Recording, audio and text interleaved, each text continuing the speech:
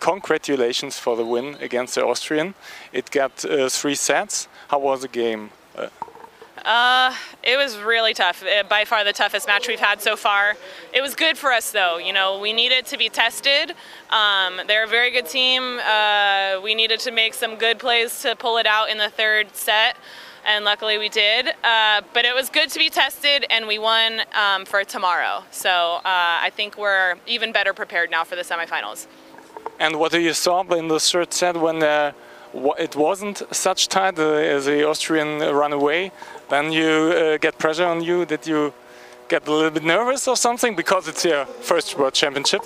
Um, no, I just more wanted to push through and take control of my game a little bit more because I did let it kind of get away from me a little bit. And I think I just looked at April and I was like, I am going to pass the ball and one play at a time. And really, we just took one play at a time and go as hard as we can. If we have to run into banners or the net, so be it.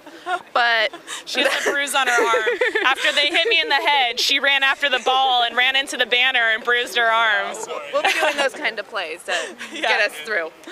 But uh, nothing, uh, nothing bad happens. But I thought that you uh, checked her.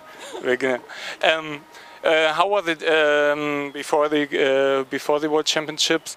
Uh, did April uh, call you? Can you play with me, or uh, tell us how it how it runs? Um, she asked me in person, so and it was very serious. I actually thought like we're very good friends, and I thought something happened to somebody or was wrong, and she asked me to play, and I was of course I would love to. So.